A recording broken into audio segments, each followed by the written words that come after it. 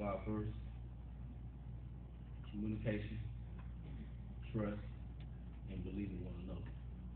Because at the end of the day, can nobody tell you what's going wrong in your life because don't nobody wake up in the room with you.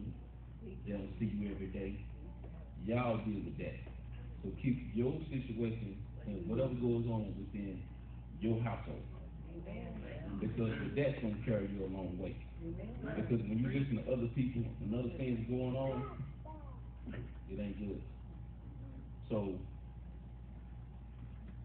like I say, I can't express the fact that